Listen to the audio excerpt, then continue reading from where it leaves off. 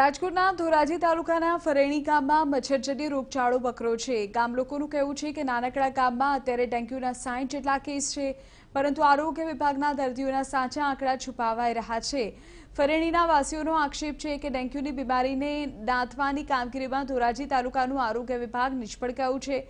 સામે પક્ષે આરોગ્ય વિભાગના અધિકારીએ કહ્યું કે હાલ ગામમાં ફોગિંગની અને દવા છંટકવાની કામગીરી ચાલી રહી છે.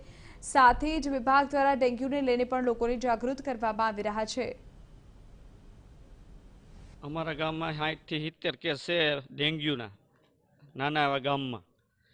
તો જેમ બને એમ ઝડપથી બધી સારવાર મળે આરોગ્ય વિભાગવાળાની, એવી અમારી વિનંતી છે. અને કેસ તાજા છે છુપાવે છે આ લોકો થોડા.